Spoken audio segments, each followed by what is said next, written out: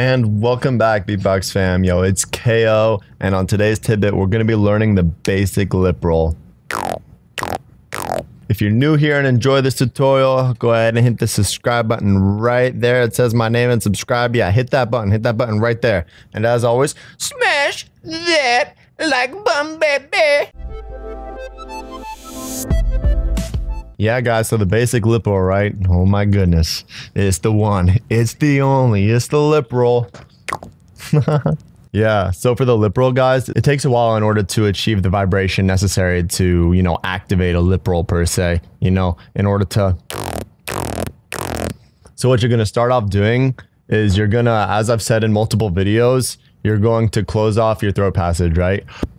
Remember, it's like an inward hup.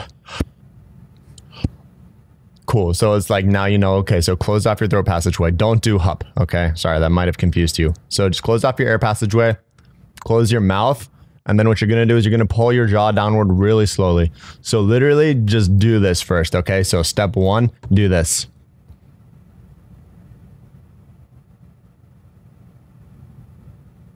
Wow, dude, you're doing amazing, man. I promise you. That's the first step. Really easy. Okay, so now you're gonna choose a side, left or right side. I use my left side, right? Okay, so then you're gonna you're gonna create suction with your lips. You're gonna purse them together, your left side,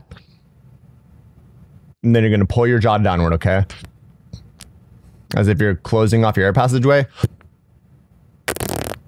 And then you pull your jaw down slowly. You're probably gonna create literally the sound I just made. And it's going to be really faint, guys. But honestly, that's it. That's the lip roll. So I know that some people say that they learn the lip roll from just, as I showed you, step one, just pulling your jaw straight downward. Some people may pull it to the opposite side. I personally, I learned it just pull, just drop your jaw. Just do what I just showed you. You know what I mean? Create a suction here. Just drop your jaw. Create a suction here. Drop your jaw and just siphon air through, and you're going to create a vibration. You see how I'm dropping my jaw?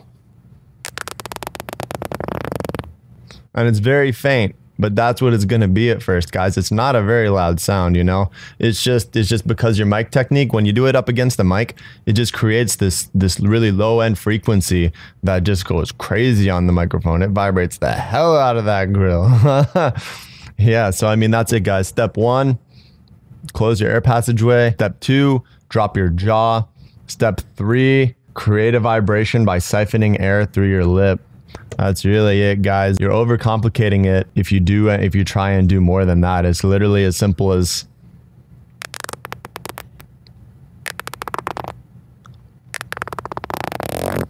And then eventually you're just going to practice it and practice it and practice it. Again, guys, it's not going to be fun. It's going to sound terrible at first, okay? But once you can get the little once you get the little like bubble pops, that's it. It's going to start off bubbly, become more of the, you know, the traditional lip roll sound that you know.